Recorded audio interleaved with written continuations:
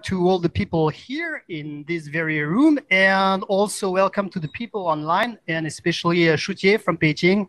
Hi, Shutier. Um, just one word, so maybe you you know that there's uh, an additional organizer tonight, so it's Galahad, because we had a focus on intellectual property, and now we have uh, something more. So, uh, what is it uh, exactly about? So what is it about is, as you may see more and more in new services, is you have IP and now you have IT, all about new technology, information technology, and more and more you will see that IP actually is working with IT matters. Typically, if you have trade secret, it's not only about IP protection, is oh, you will make sure that your trade secret is properly protected, or you will have security in there, so you make sure your employee are not leaving with your trade secret. Also, you have more and more questions about your product or they are sold in terms of IP or we protect it and or we will use technology to make sure that our IP is protected. For example, you have a, a web crawler that will try to check on the web if your product is being counterfeited or if it is faked by someone. And then you can take some IP related action. Okay, so maybe I I can translate for non-legal people. So Galahad is about data. Okay. That's what he meant. Uh, maybe Shutier, uh, we can have a word from you. Yes. Uh, okay. Bonjour and uh, good evening, everyone. Uh, so uh, welcome to this session of our working group. So as explained by Severin, this working group had been focusing on intellectual property issues, and recently we have decided to enlarge a little the topic that we will deal with. Uh, so regarding the e-commerce, it's uh, actually an important issue. Uh, so previously we have organized two working group session, one about the online counterfeiting and the, the other um, about the uh, uh, Pinduoduo and the platform related IP protection. Uh, so this time we will welcome Bruno from uh, Leaf Law Firm to present the online distribution contractual issue. Thank you, guys. Thank you, guys. I, I hope you can hear me. Uh, my name is Bruno Grangier. I've been in China for 16 years. Uh, I have now created law firm for eight years. The name is Leaf, and we are uh, based in Shanghai, Beijing, and now we have an office in Paris since January. We do uh, a lot of operations, uh, M&A and uh, fundraising, and we help clients to create assets. And in this context, we've been working with a lot of uh, of our clients to uh, to help them to create distribution network offline and online. And uh, when we were talking with the the IPIT club, we were slowly discussing about brands. We were nicely discussing about brands and how to create brands and I propose to uh, maybe do a focus on uh, the, the, the creation of uh, the relationship with your distribution with the distribution online in China. That's a big topic. Uh, recently, we have done a, a, series of webinars with my firm and uh, a partner, Fulljet, and we've been discussing uh, a lot about e-commerce online. Of course, I will not remind you that the e-commerce uh, market uh, in China is the biggest. Uh, it's nearly 2,000 billions. The Chinese market is actually bigger than the US market, plus the French market, plus the Japanese market, plus the German market. So Let's okay, take it easy. That's the biggest market. Sorry, Bruno. So before you, you go on, just uh, so uh, I know you for some time, and Bruno loves when people uh, challenge him. So if you have any question during the presentation, yeah. go ahead. Don't hesitate. Comments, insults, don't hesitate. Yeah, so uh, the, the specificity of the e-commerce uh, in China is also the domination of two platforms. I mean, it's very basic. 80% of the e-commerce in China is Tmall and Jingdong. That's it. So two big platforms, 80% of the market. Interestingly, also, the e-commerce in China have very strongly resisted to the to the COVID. Uh, the the decrease of the e-commerce, I think, was something like three percent, if my memory is correct. Whereas in uh, in every market, it was uh, more than twenty percent on the first two months. And of course, you've seen the explosion of uh, the e-commerce in China. Nothing has really stopped uh, in this business uh, during the, the, the period of COVID, and uh, and basically you can you can check the the volumes. I mean, everything, every platform has been super active during this last semester, more than ever. Everybody wants to distribute in China.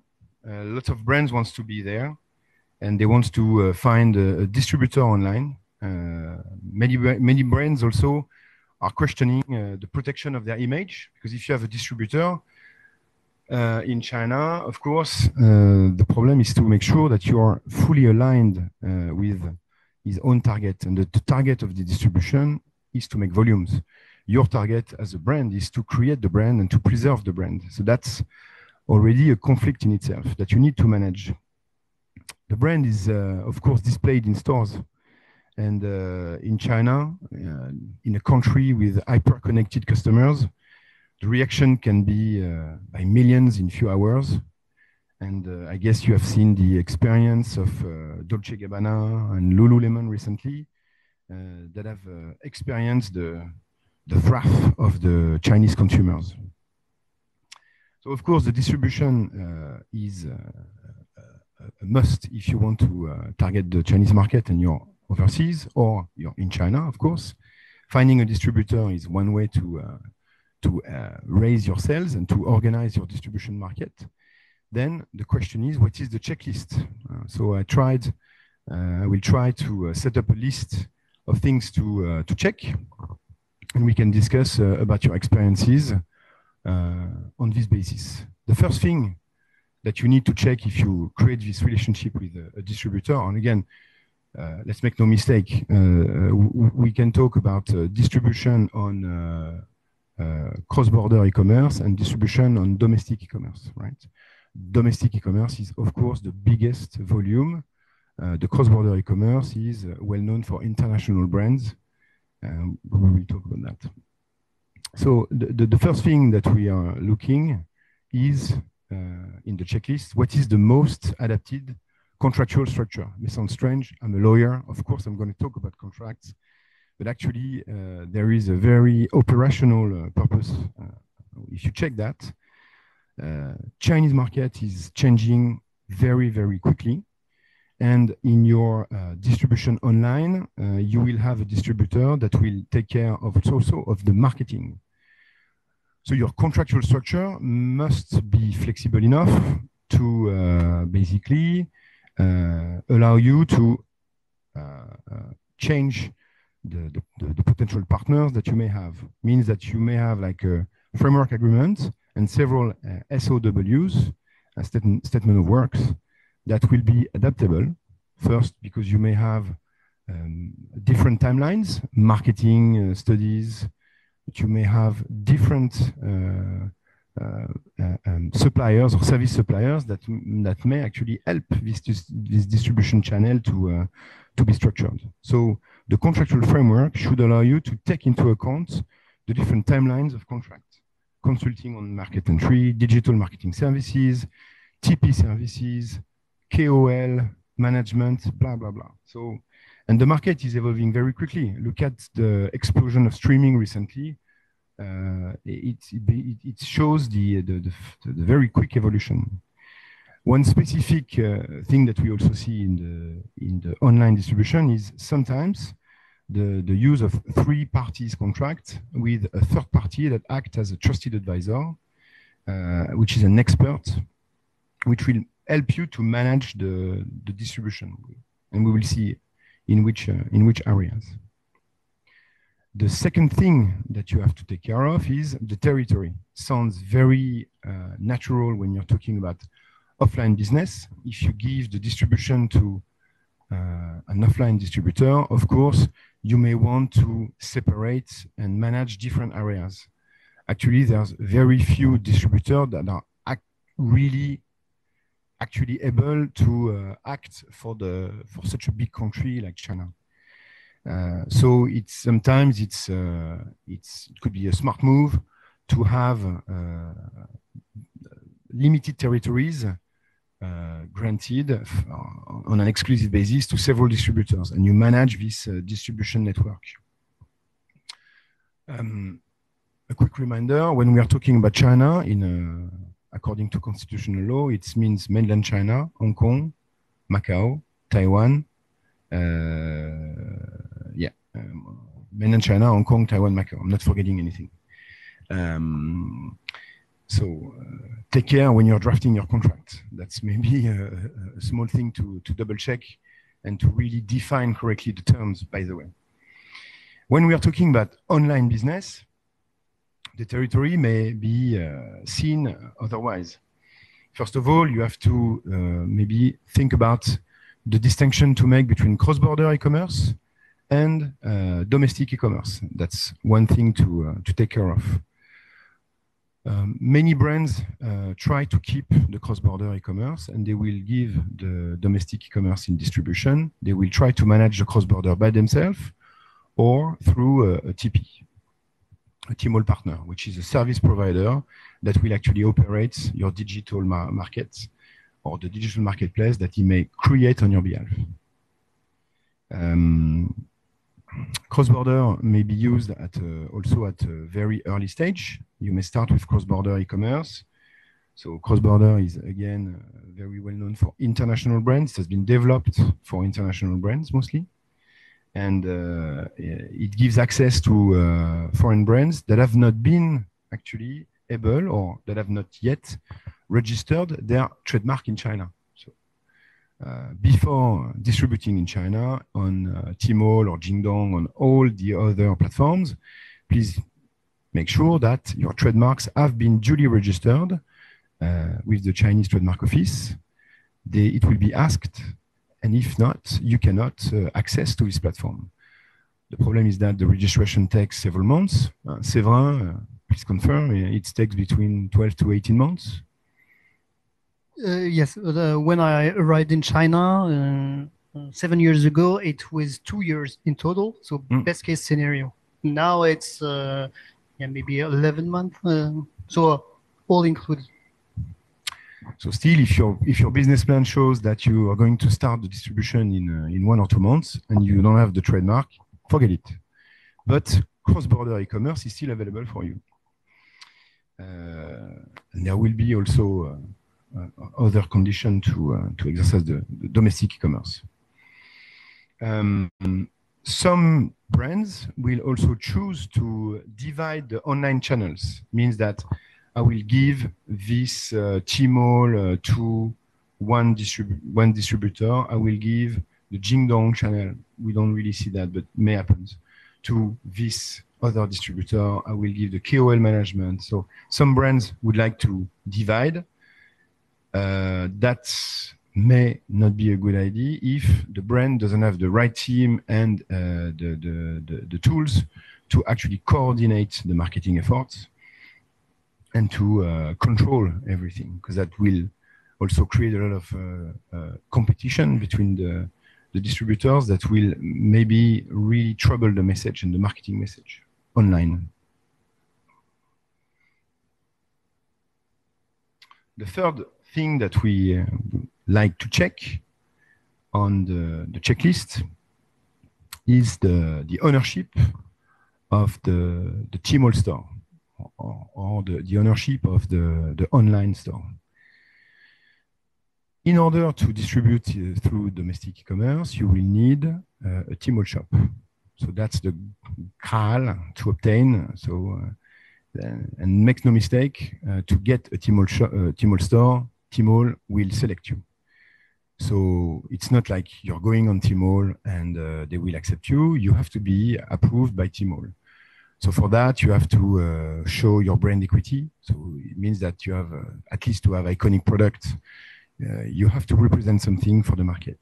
And very interestingly, uh, it may raise questions for uh, brands that are very good in distribution, but that have not been able to create an actual brand that is recognized in the public. So, uh, for example, some brands have been very famous to to distribute in uh, supermarkets or in uh, uh on large scale. They have uh, huge volumes, but their brand equity uh, maybe still small. we can talk about lighters, we can talk about underwears, we can talk about very famous brands that actually still need to create some brand equity. Tmall is choosing the brands, may choose some small brands, but still choosing. So it has to select you and approve you. So the, the, the thing is, you will, you will uh, uh, as you may know, uh, create your Tmall store. And to do that, first of all, you need to have a, a, company. So there are conditions. You need to be approved, you need your, your trademark, and you need a company in China. If you don't have a, a company, then means that the Tmall store will be created uh, and registered under the name of somebody else, which is the distributor, obviously.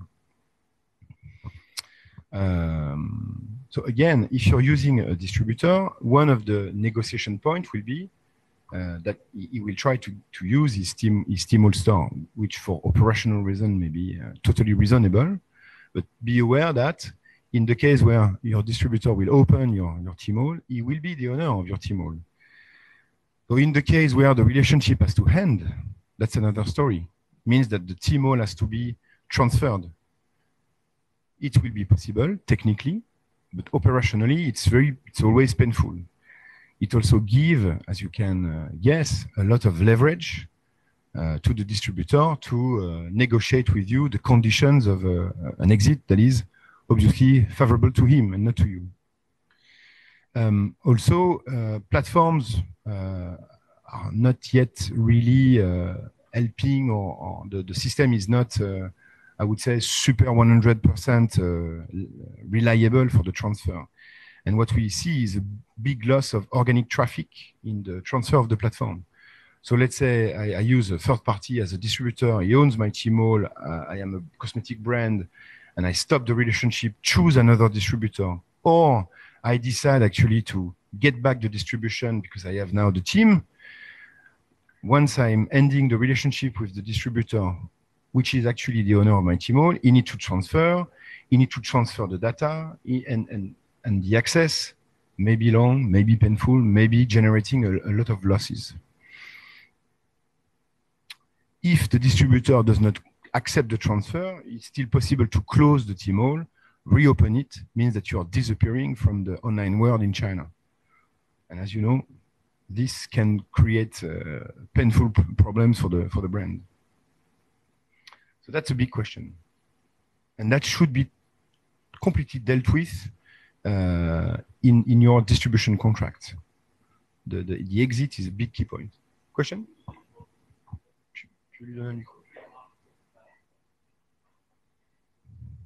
Thank you. Uh, about trademarks, it, uh, is it working? Yes. Okay.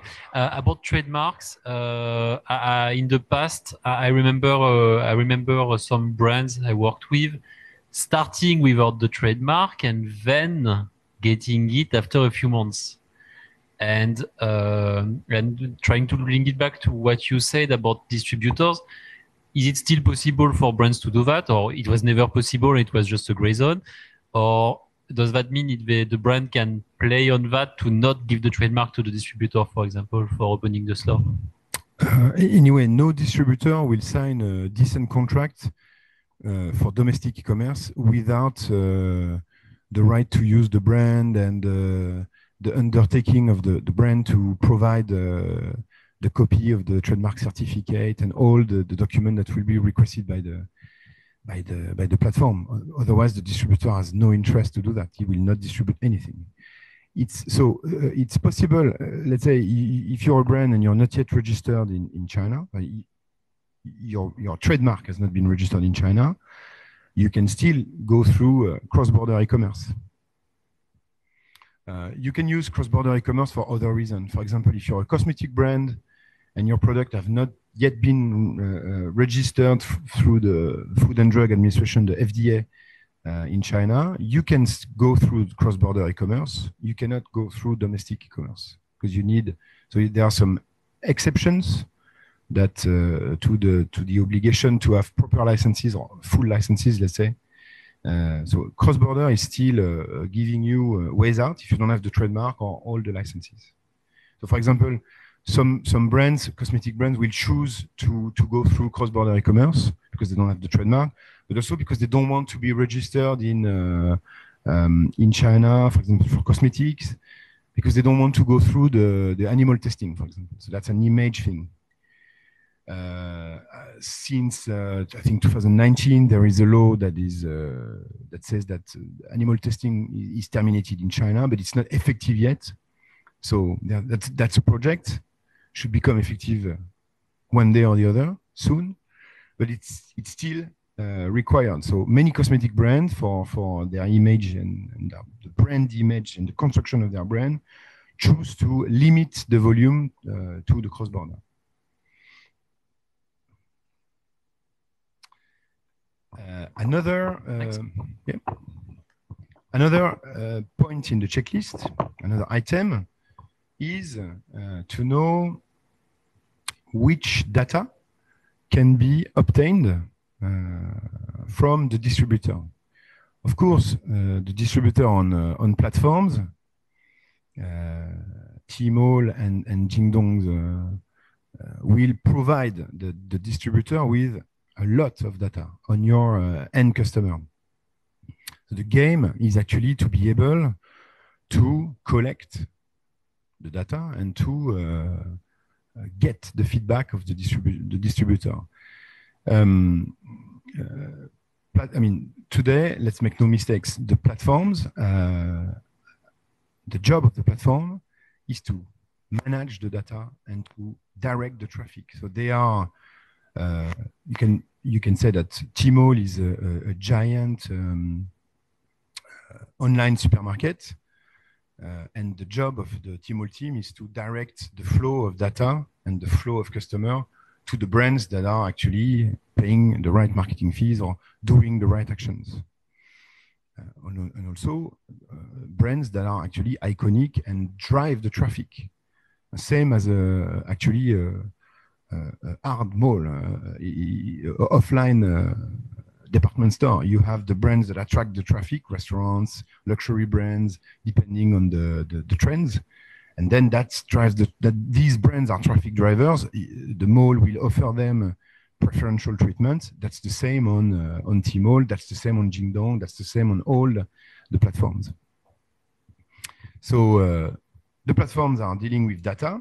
They can even help you to uh, to have a, a, a better marketing policy if you are uh, cooperating and if you are, uh, of course, uh, working with a reasonable and, and, a great distributor. Means that you need to know your end customer and also to adapt the product. you, you should negotiate what kind of data shall be uh, given to you and, and, should be reported by the distributor. This is a, a big topic. And this is actually very surprisingly uh, a topic where a lot of uh, small brands using distributors have no input at all. It's not negotiated. The distributor is not transferring anything, is not reporting.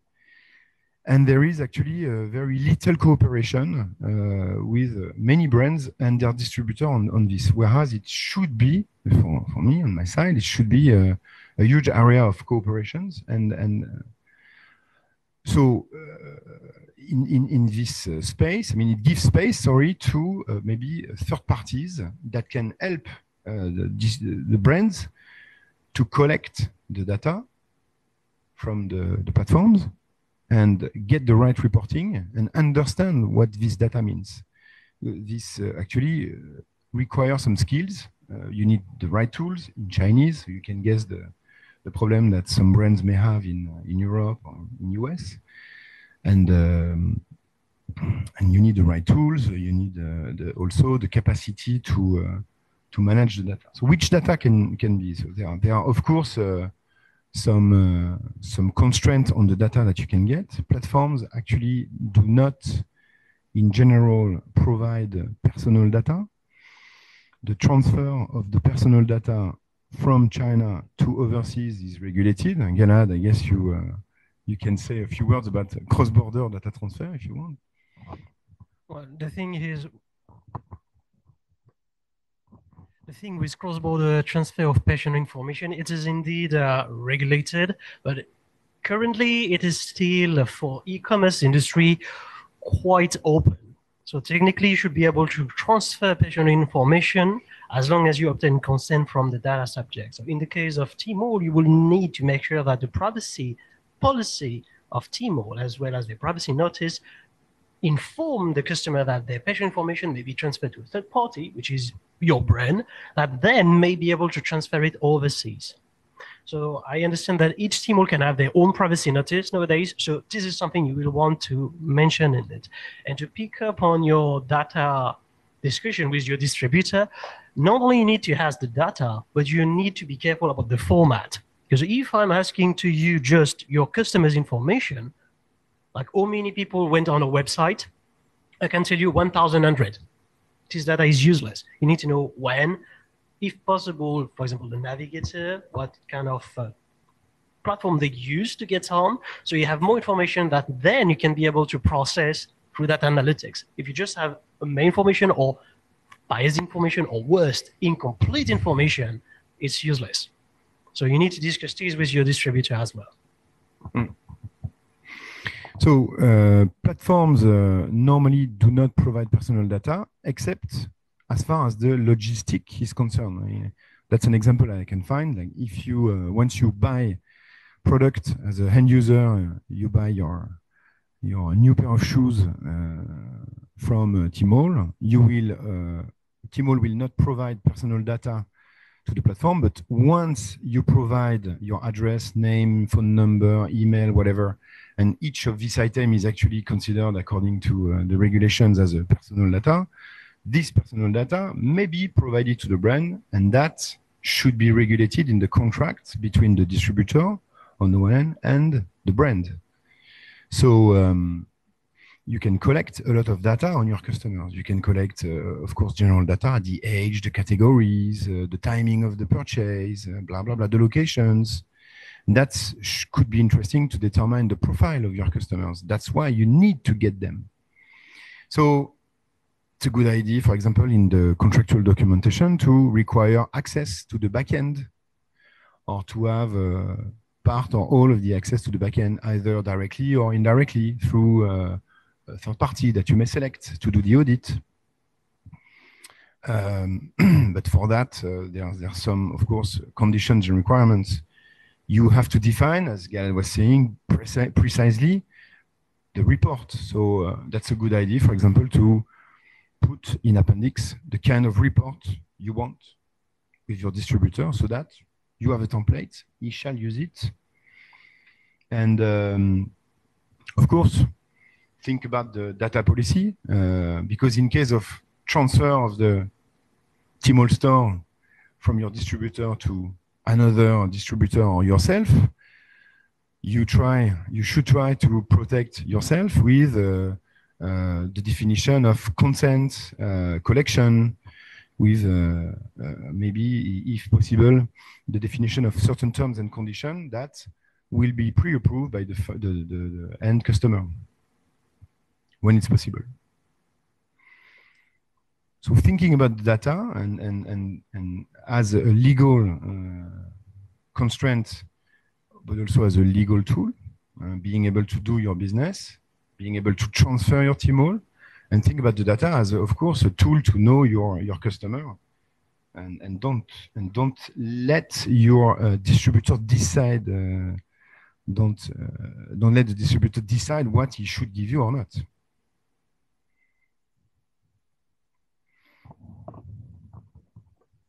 On that. So uh, what you're expecting from your distributor, it's uh, I assume it's left to to leverage, right? If you're a small player, you won't get much, right? Um, you can be a small player and very attractive to your distributor. First of all, secondly, as long as it's defined at the beginning, it's uh, for me a governance um, aspect that needs to be discussed and also it helps uh, the, the purpose is not to, uh, to, to, to, pollute the life of the distributor the, the idea is to actually cooperate more and make sure that you can sell more because you, if you know the customer you will adapt the product, you will adapt the packaging, you understand some requirement of the or some advice of the of the distributor. You you take decisions. Okay. And in your uh, work experience, do you see any standards uh, regarding data? Or What we see is really. uh, the market practice is again uh, uh, some some advisor, some technical advisor will define templates of the, the data, and then collecting the data gives you the opportunity to do some marketing. So it's also your choice as a as a brand. What do you want to know? Uh, what kind of customer you you know? It's it's more you as a brand, what do you want to know? I guess uh, the population. You, you need to define the population. And on that, this is where you can add uh, additional layers with data analytics. You can use previous sales to forecast future sales and seasonal peak, you could say. So you will need to get from the distributor those data that you're gonna need to do your forecasting program, uh, your forecasting model. For example, how many sales we did every Monday, every week, or before the Chinese New Year, what was the peak on the last two years? So as Bruno said very correctly, you need to prepare what type of data you need from the distributor, and it will not create a lot of trouble for them. They already have it. They just need to prepare it for you. Yes, it's an additional work, and uh, I think it's uh, it goes with uh, the principle of defining also in your distribution contract the governance, because of course um, may happens that the turnover is huge in the in the distributor, and sometimes you will work with the distributor because he has the right connection with the platforms. If the connection leaves the distributor, that may create actually a problem, may not be able to reach the KPIs, but also uh, it may actually uh, really damage your uh, your volume of sales. So you want you you you should as a brand define the kind of governance. How do we take decisions? If you change the team, we shall be notified. We shall understand who is now the, the, the person taking care of our case.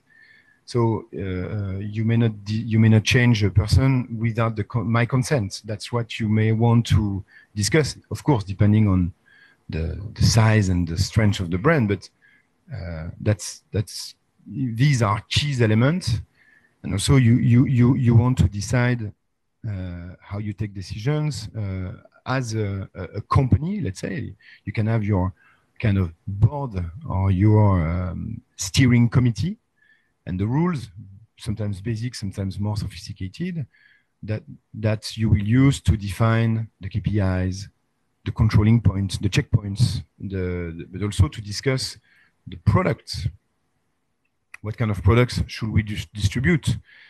Uh, one of the very uh, uh, um, particularity uh, one of the very specific thing on the on the online platform is the number of uh, specific cells, right can't even uh, tell you how many uh, different cells you have every year, but you have uh, like the 11, 11, uh, 8, 8 or whatever events. And these, uh, these are peak of activities. You may want to define actually a specific collection for that event. I can take an example. If you are uh, managing your own distribution uh, business, you have your online distribution in, in your hand with uh, your distributor, and you have a network of uh, offline sellers, franchisors or uh, franchisees, sorry, or distributors. You can guess that uh, if you have uh, 11 uh, event of sales every year online and much less uh, on the offline distributor. So if you have like uh, 20 or, or 80 distributors in China offline that have that have actually shops that have invested in shops, and you know every year you launch 11 different sales, that will impact their business because people will simply prefer to go uh, online than buying offline, right? So they may it may trouble the business. Maybe you want to have a dedicated collection for that. Maybe you want to have a dedicated collection that we will not distribute offline in order to uh, avoid disruption of the, the business uh, offline. Because of course your distributors will be unhappy if you sell everything uh, online, whereas they are actually investing in the in the brand themselves. They build up the shops, they invest in decorations, they pay the, the employees, right? So that's that's interesting even to to have a steering committee to to define these kind of, of things. Um, maybe to to continue on the on the steering committee, it's um,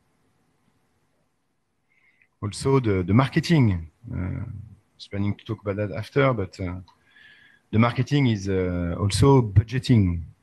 So you will define a minimum investment committee by the distributor to build up the brand. You may want to have some commitments from the distributor to to invest. He may require you also to to do a specific investment or to pay a part of the investment that he will advice. He will basically tell you, we need to invest in this uh, marketing campaign. We need to pay this KOL, right? So, so the, the, the, there will be some some marketing cost that needs to be discussed. Uh, media activation. Uh, we talk about marketing performance, right? So um, these costs have to be controlled, and some distributors, of course, they they, they will try to get uh, as much liberty, as much freedom as, as possible Whereas on your side, as a brand, you want to have a, a specific control and understand the, the, the, the, kind of investment and anticipate that. Uh, what should be approved together? What should be done by the distributor, by himself? You will define, of course, your annual marketing plan. And um, the question is, how do you preserve your brand? That's uh, that's somehow uh, the question, right?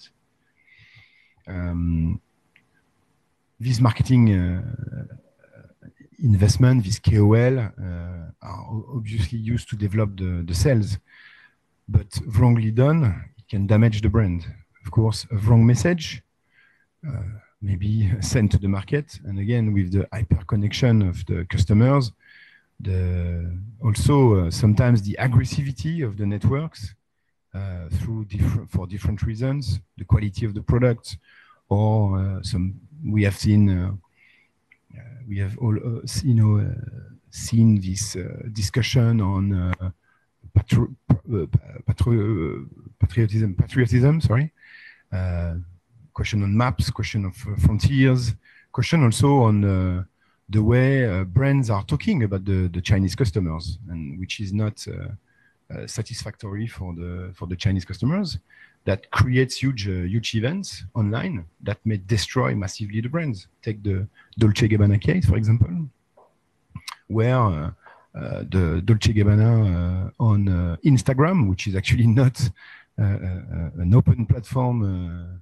media in, in China, was criticizing the Chinese customers and Chinese lifestyle, generated a huge reaction that somehow destroyed the brand in, and, and, and has generated a huge uh, cancellation of uh, fashion fashion events. Uh, many stars and many KOL disengaging from events with uh, Dolce Gabbana in a few hours, despite the, the, the, the some uh, some poor performance of the management team to uh, to correct that. Recently, we have seen that on some champagne brands criticizing China for the COVID-19. We have seen that also very interestingly, I think, on the on cases that are uh, somehow uh, collateral damage. For example, Lululemon recently was uh, targeted by a, campaign, which interestingly seems to have nothing to do with Lululemon, as far as I know. Uh, a designer created a T-shirt talking about bat soup or some other uh, uh, cultural element that he thought was uh, relevant. Chinese customers saw that differently, generating a huge emotion on the social network.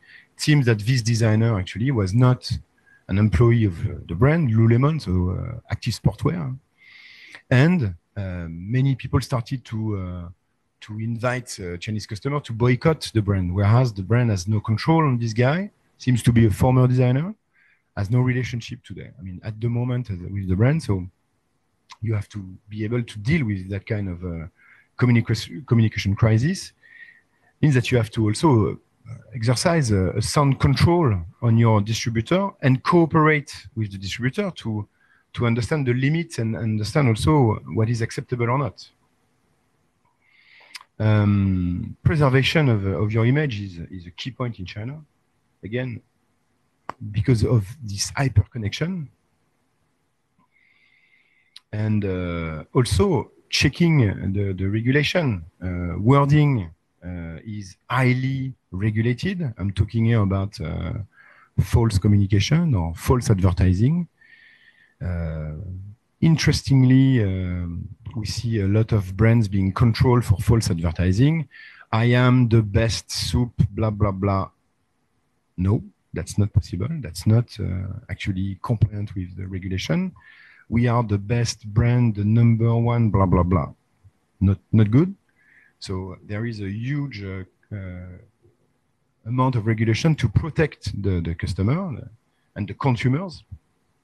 That is uh, actively uh, checked online. And of course, you can guess that there's a lot of uh, um, denunciation for this kind of uh, for this kind of thing. Um,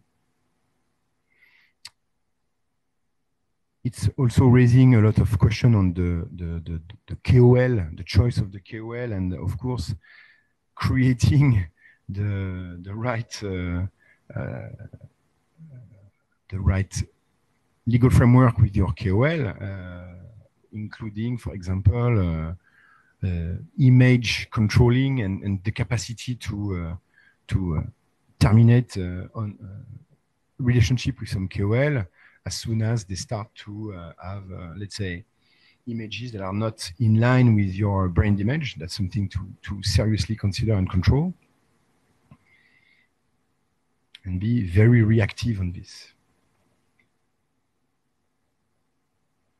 So we, yeah, that's the, we, we, that's why we insert, sorry, I was saying that, we insert commitment from the KOL to preserve its image and to preserve the image of the brand, adopt some, uh, some behaviors. I remember uh, a few years ago, I was uh, drafting um, a contract of a Chinese KOL, uh, and uh, this guy was impersonifying uh, so he's a, famous Chinese actor, and uh, he was actually dubbing uh, so it's only, uh, he was dubbing an American actor, uh, John Malkovich.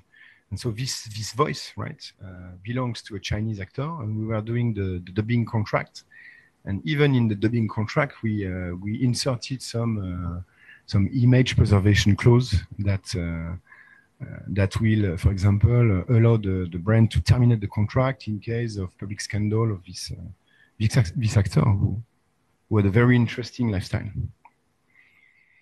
Uh,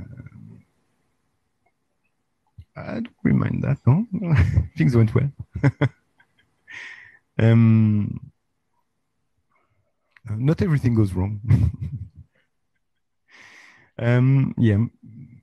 So another topic to take care of is uh, the competition. So some brands are very attached, and I think it's very uh, uh Western uh, minded. It's uh, should we limit the right to uh, distribute? Should we limit the, the right to distribute competing brands to our online distribu distributor?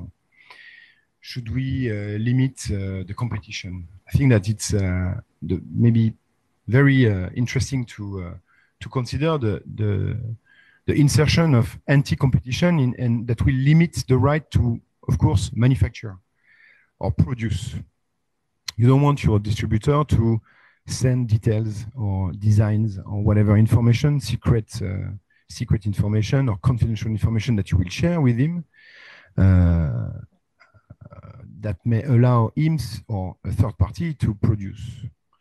That's, uh, that is strongly advisable. And of course, the protection of the IP uh, that will prevent this, uh, this uh, production of counterfeited product is a key.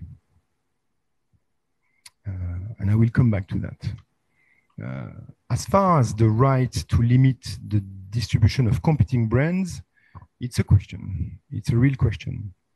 For example, some uh, some some will see the right to distribute competing brands as uh, an advantage because they they will invest in their brands, so they may not want the um, other competing brands to benefit from the, the quality of the channel that the distributor is building. That may be actually very wrong in China and, and more specifically on online platforms. Actually, if your distributor is becoming an expert by distributing similar brands or competing brands, that may give him actually an access to the platform that is much better than anybody else. Uh, today, um, companies like Baozun, they are distributing uh, many, many competing brands. That's absolutely not a problem. They are, the, they are a very active distributor in China. So that's actually not seen as a problem by many brands. So if you are a brand, just think that uh, Adidas and I think, uh, if I'm not wrong, uh, Nike are distributed maybe by the same uh, by the same platform, by the same uh, distributor. Sorry. Um, so yeah, if you if you do not limit this right to uh, to distribute uh, competing brands, that may help your distributor to become really an expert and acquire all the negotiation power he needs to negotiate with giant platforms. So that's maybe positive for you also. Um,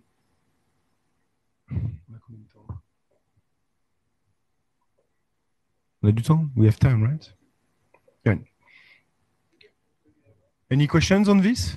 Nico, first of all, maybe some questions on your on your side, guys? Okay, don't hesitate to interrupt. Yeah, sure. So about the, the data protection from distributors, uh, out of the experience, what would be the, the reason for a distributor to say, no, I don't want to share the data? Or is there any uh, particular case when it's, I mean, it's, it's some, some case they fight or? Because it's additional work. That's a very good reason, actually. no, because it means that you uh, he needs to have also the, the he needs sometimes to develop the knowledge himself. They will uh, be very. Uh, they may not be so organized uh, as you may expect. They may want to keep the information because it's uh, they, they consider it as a leverage on on you, so they keep the they may want to keep the data because they don't want you to learn as a brand. So that uh, later on you may discover that you could double your sales or or triple your sales or you have also a difficulty to if you have less data as a brand maybe it's good for some distributors. I don't know. They are not cooperating uh, if you don't ask anyway.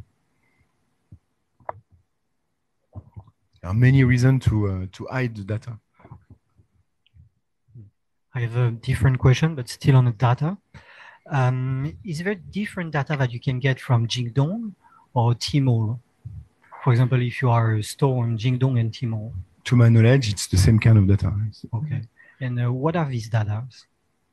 again it's uh, so the population uh, so I'm, I'm not an expert uh, in the in the data management it's more a marketing question but uh, from what i've seen it's more the definition of the population uh, the age and whatever the data is uh, shared actually uh, by the end customer with the platform itself so it's again uh, what is your age what is your gender a lot of actually personal data that will help the, the platform to define the, the population. But it's it's very um, and again i i- it's so specific that um, of course yeah it's it's yeah the the navigation is highly detailed.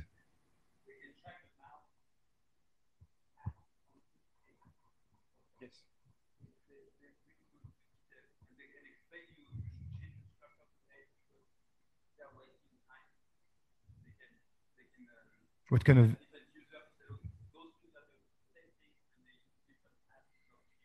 I think to be confirmed, but I even I even heard that they, they, they will check, uh, they will be informed on the kind of device that you're using. So at least uh, mobile or, or, or computer. I mean, the, the, the, the, amount of data is huge and um, personal data.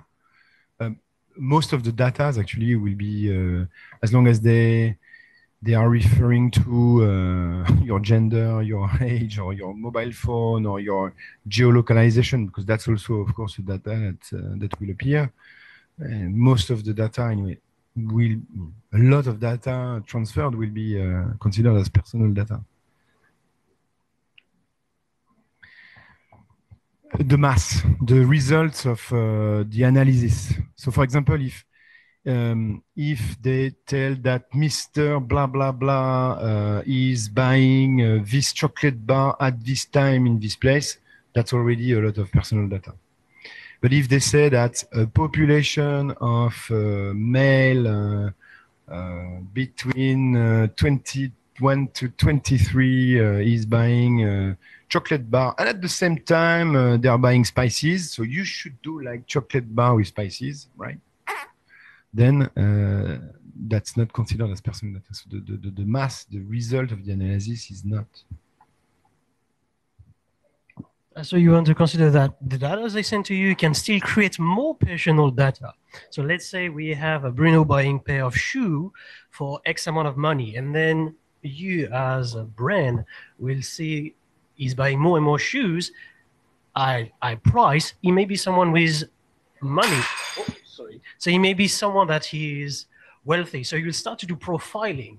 But when you do that, you create new sets of personal information that you should not have normally. You can still do it if it's anonymized. So we have a set of 100%. Among the 100%, 80% is rich, 20 is poor.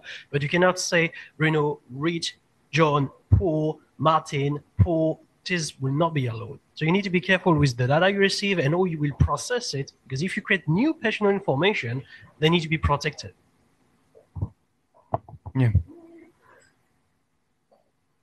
So that's why also uh,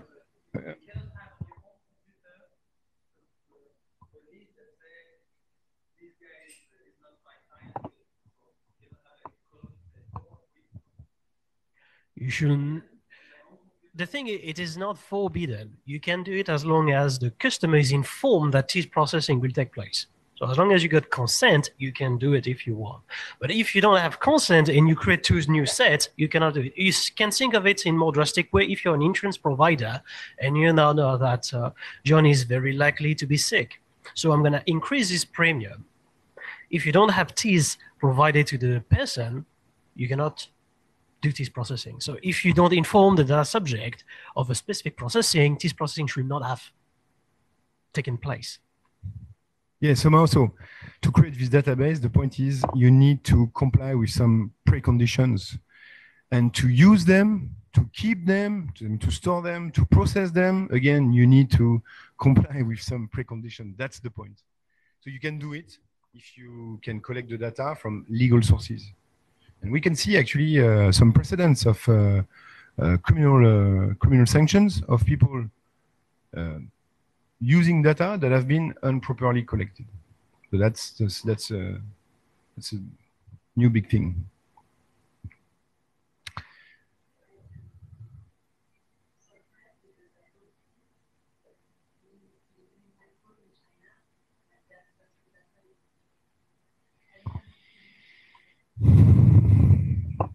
Think it's. I would say that the level of protection in China is somehow bigger in terms of regulations. In terms of regulations, uh, for the, the the let's say the content of the personal data protection, the obligation uh, that is borne by the companies or the the, the yeah the companies on the the infrastructure investments that's much bigger than Europe I would say. Personal uh, personal appreciation but not not so personal. I mean if you see the regulation is big. Your feeling comes from something else. It's uh, the, the I think it's not the protection of data itself. It's more uh, the, the feeling of uh, that uh, the data is accessible with no limitation by the governmental authorities. That may be actually the feeling that you're experiencing. That's another thing. But but the data protection in China is one of the most advanced systems in, in terms of regulation for, for private companies. That's it. And to add uh, something, the, for apps, it's actually even more developed than what we have uh, in the EU. And there is quite a lot of enforcement. Mm. There are waves of enforcement regarding app service provider, and I cannot give the name, but you can check for the for it quite easily. You have the name of the company that gets uh, warned, and then that gets sanctioned every time. And you can find one of the biggest, and you will may even be surprised by who's on the top of the list from time to time. So it's quite uh, regulated and it is quite enforced. The second issue we have is most of the time it is only in Chinese. There is no translation and it is quite deep into the WeChat account of the authorities. So you need to know where to find enforcement to know that there is enforcement. Hmm. I mean, but uh, you say that this information is uh, published somehow. So why can't you name those companies if it's public? Okay, okay, I get it. policy. Uh, so a few a few few minutes ago, yeah, we were talking about anti-competition. We can come back to the topic of data if you want, or we, we can also come back on the topic of uh, IP protection because I think it's a very hot topic also on online and uh, and we and, and very interestingly, uh, what we have seen is um, a huge uh, effort and a, also a huge pressure of the platforms to to protect uh, trademarks with uh, first of all the, the e-commerce law uh, that basically says that platforms are liable in case of uh, distribution of fake products. That's a very useful tool for brands to fight against uh, counterfeiting because platforms are now liable. So if they distribute fake products sold by uh, like let's say a counterfeiter uh, that is not so informed, they actually may shut down the, the shop. And the, we, we can see that the policy of uh, platform is shifting from, uh, you know, uh, it's good that uh, it's a kind of a counterfeiting is a democratic tool to uh, give access to uh, good product to to people with no budget. Goes from this position to we have to enforce the the IP policy more and more, and we shall be liable, and we shall help the, the, the brands to um, to do that. That's an interesting shift. Um, we are actually shutting down uh, a lot of shops uh, uh, as per demands of our clients. Shop shops online. There are very active policies and very active companies in in this sector in in the IP protection and, and also the, the protection of offline also uh, distribution network. It's very interesting to see the evolution.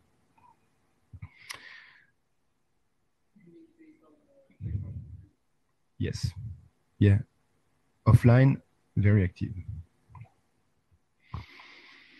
Um, product selection, that's a, that's another topic. Product selection and the definition of level of services. We were talking a few minutes ago of the, the governance. That's also uh, uh, uh, good to have. Uh, I was talking about governance. I was talking about the cooperation in the choice of collection. And also, um, we were talking about the budget to come back a bit to, to what we were saying, the minimum sales, the purchase targets. So minimum sales and purchase target, please don't make the mistake. Minimum sales and purchase target because you don't want your distributor to buy your product and not sell it. It may sound strange, but most of the distribution agreement have uh, uh, if a, a clause according to which the distributor may give you back the product that are unsold. You want to set up KPIs in minimum purchase and minimum sales. I mean, it sounds very naive, but don't forget that. You want to have a business plan and forecast in order to be able to adapt your production, talk to your suppliers if they are external, of course. You need to invest in your production to keep up with the market demand. Uh, we have this uh, very uh, interesting experience with some of our clients. They distribute in China, bam, they become iconic product. They cannot keep up with the pace of the distribution. So of course, they, the distributor is uh, is pushing the brand to uh, to move forward. Please give us more product. Give us more product. Suddenly, China becomes like 50% of the turnover in uh, like that in a, in a few uh, in a very short period of time, one year, two years. That you know, create a lot of pressure on the production, and uh, and uh, that's a nice that's a nice story. That creates a lot of pressure on the on the brand. That also create a lot of pressure pressure sorry on the capacity of this brand to distribute with such a, a nice distributor. How to uh, say no to uh, your biggest customer. So that's an interesting uh, topic. If it has not been defined at the, at the beginning, at least if you have not anticipated that at the beginning, may exist in China, that could be a big problem. And uh, for forecast, setting up the, uh, let's say, something that works. I mean, uh, sorry, we see a lot of distribution contract that simply do not work. If uh, you do not reach your KPIs uh, after uh, the period, blah, blah, blah, and uh, we will uh, terminate the contract uh, after an escalation, uh, a discussion escalated 10 times, means that if the guy is not distributing anything for 12 months, that's when uh, sometimes you see like you, need to wait 12 months to uh, observe the lack of capacity of the of the distributor. Wrong. You need to sequence that. And once you see that it does not work, set up very simple and very short period of time to quickly terminate this relationship that needs that leads nowhere. So setting up the the, the, the process to uh, examine the, and, and control the, the KPI and the minimum sales and purchase targets, the business plan, the forecast forecast uh, is uh, is a must. And, and define this tool as a strategic decision uh, making tool. Controlling the price. Uh, of course, within the boundaries of the regulations. you please remind that you cannot have imposed prices in in China, but there are many many ways to still control the price. That's something to uh, to define in, in your contract because you don't want your distributor to uh, totally messed up with your branding, but also your potential offline distribution that uh, that may work in parallel. Yeah you cannot say in a contract uh, you have to sell uh, at the price that I will give you.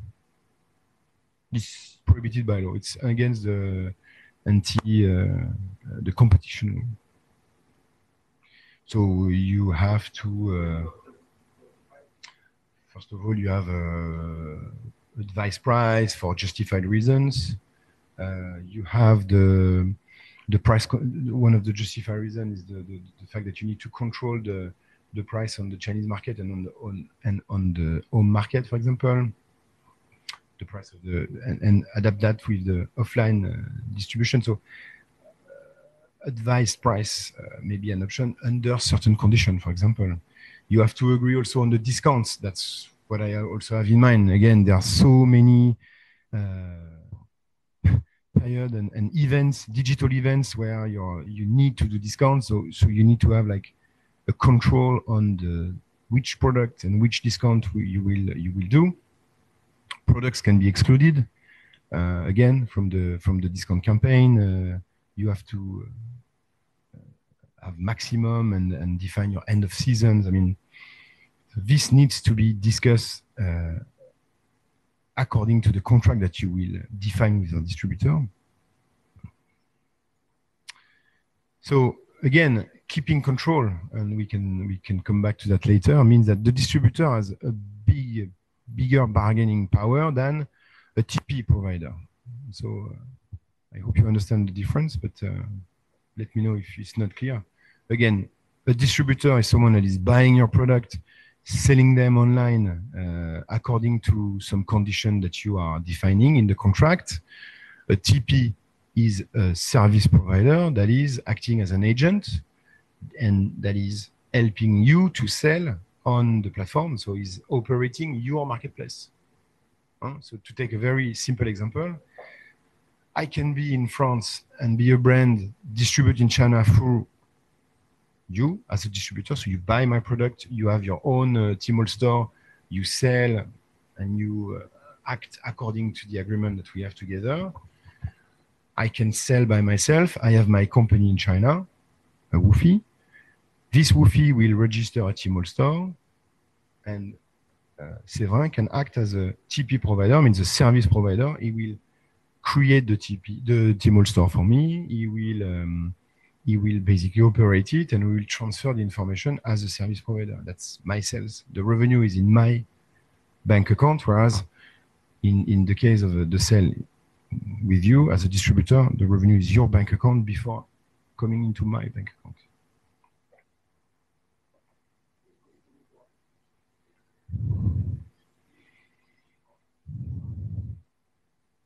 Acting for cross-border, yeah, yeah. So, so you have no company in China, and uh, you uh, hire a TP that will help you to operate cross-border operations.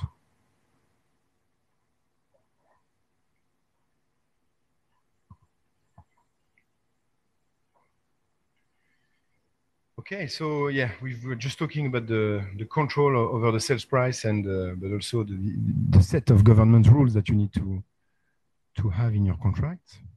And I think the last point, at last, is the end of the contract.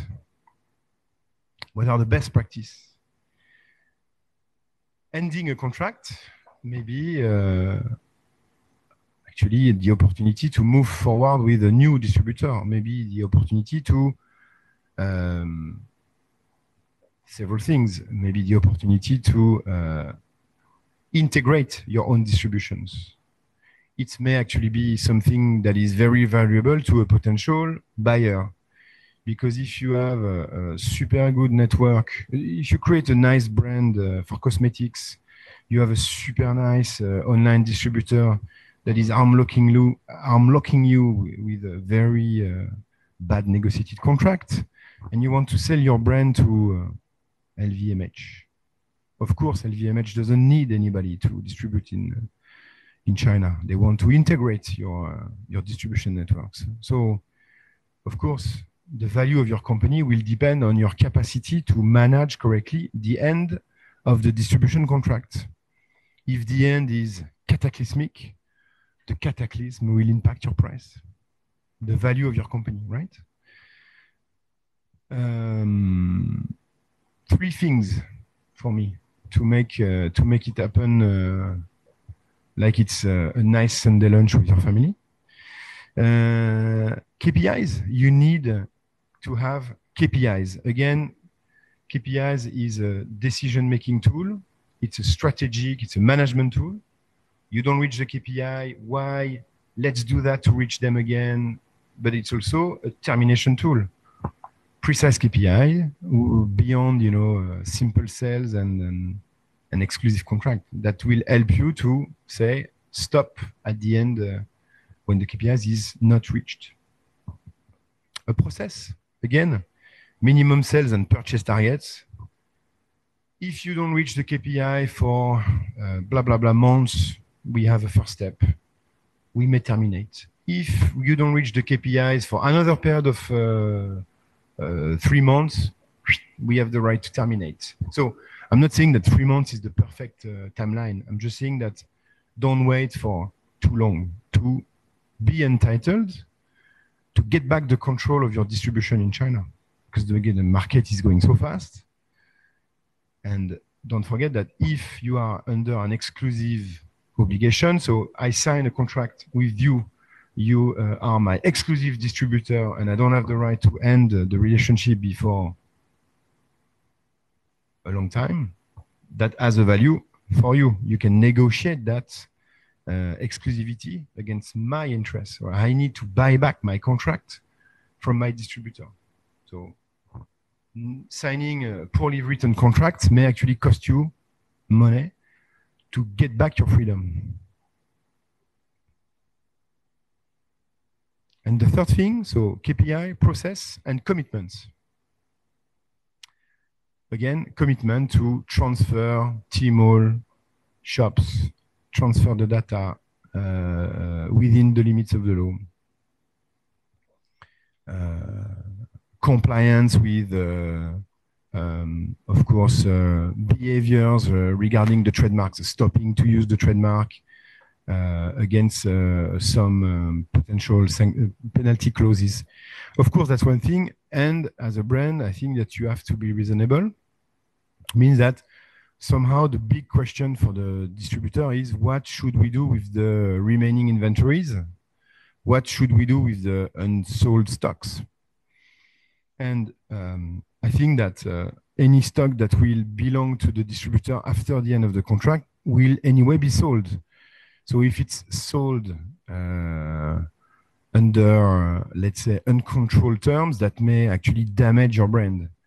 So in this case, it may be very reasonable to uh, uh, undertake the, the stock buyback within some limits, of course, and uh, within some deadlines. This should be discussed at the beginning of the contract, not at the end. So, I think as a, as a conclusion, my, um, what I can share with you is we can see a lot of contracts that are, of course, uh, very uh, very poorly drafted. They do not follow this checklist. There are other points, of course, to uh, to include in the checklist, but these are the main points. And I think that each time we we don't see one of these points, things go pretty uh, pretty south, pretty bad. So uh, yeah, negotiating this contract is uh, is uh, and and working on the checklist is uh, is uh, the first advice I can share with you. The second thing is. Um, the brand and the distributor do not share the same interest. That's a reality. You have to face it. As a brand, the distribution the distributor wants to make volumes and and and, and work. It's a very aggressive uh, environment. You uh, want to create a, a, brand. That's another problem. That's another uh, vision. You want to create a brand because you want maybe to sell your company within a few years. The distributor does not care about that. He wants to make sales. And making sales may not be actually uh, your your very interest. So you have to be aware that that's a conflict of interest you need to manage. That's why you need to control. That's why you need to take control of the of the distribution in terms of branding. And that may actually be a good idea to be able to, to check the data, to have a real uh, capacity to control the data, to access to the data, and maybe get uh, help from uh, a lot of e-commerce professionals that you may find in, uh, in China. Um, that's also a third party, a trusted advisor that could be a very helpful ally. Questions? From my past experience with, with Tmall and uh, and JD,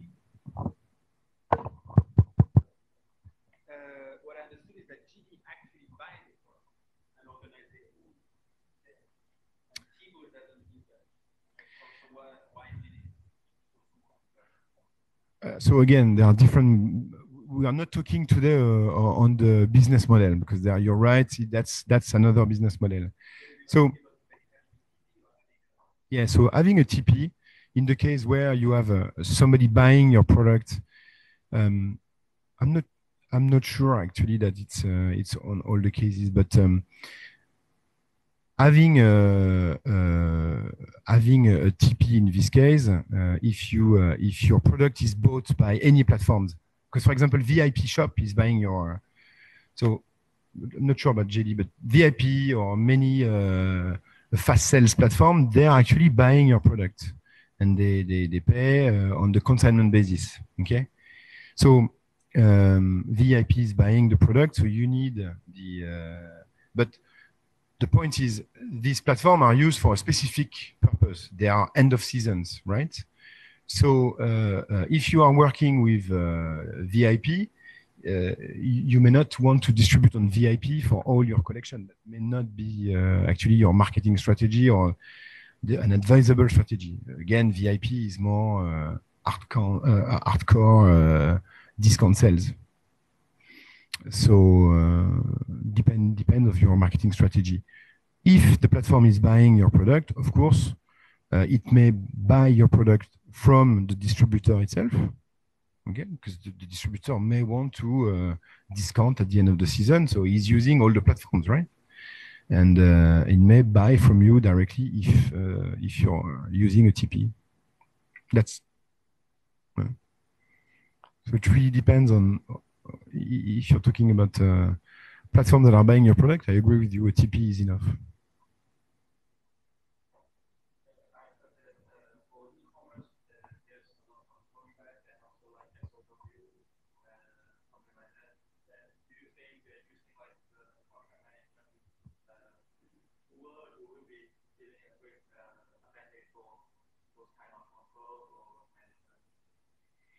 So again, um, using uh, this, so adapting the, the, the, the, the structure of the contract is uh, a smart move to be able to manage the kind of uh, service providers you want to use. You may want to uh, give everything to your distributor at the beginning, but let's say you become, let's say I'm a cosmetic brand and you become my distributor in China. We may sign like a general agreement and we may sign uh, several uh, SOWs together. Later on, because your marketing capacity uh, is not satisfactory or you're not the expert in marketing, but now I have my own team. So we just terminate this part of the this contract. It doesn't. So, so the, the- in this case, we will only discuss on the marketing contract. We just terminate this one. We don't need to negotiate everything else. So this management of the contract is, uh, is I think, more efficient. Now, if you're talking about uh, using an electronic uh, management tool, yeah.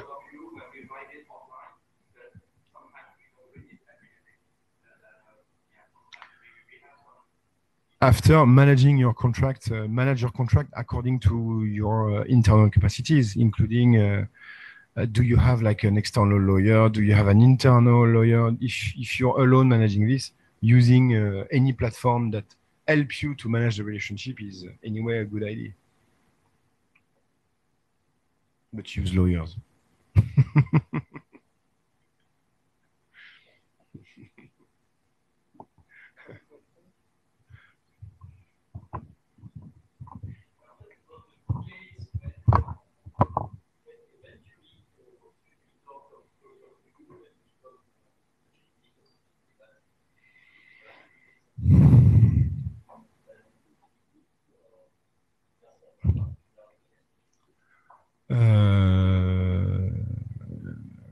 can you plan that at the beginning? I don't think so.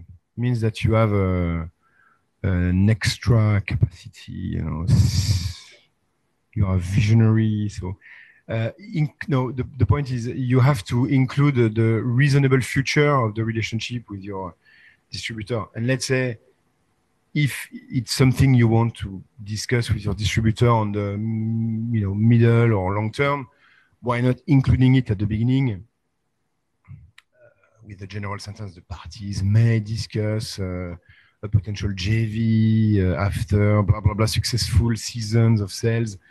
Uh, why not? If you do that, you have to be able to get out of this undertaking because it's uh, it should not be a binding undertaking. So you, your distributor may actually um, me be disappointed by your product. He may actually be disappointed by, uh, or you may be disappointed with your distributor. That's the point. So trying to, you know, uh, let's say, go uh, uh, beyond the distribution uh, relationship may not be appropriate in this contract.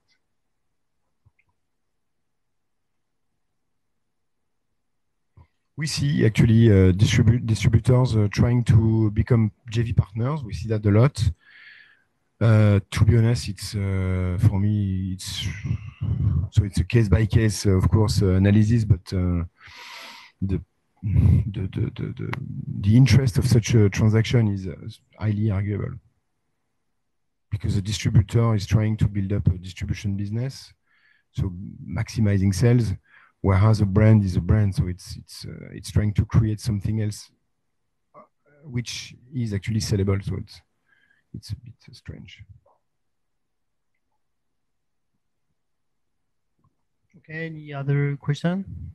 Okay, so uh, thank you, Bruno. Thank you guys Um, and if you, so we can continue the discussion. Uh, we have finger food and uh, drinks. If you have any questions uh, regarding uh, membership here, Alex is the go-to guy. Thank you. thank you guys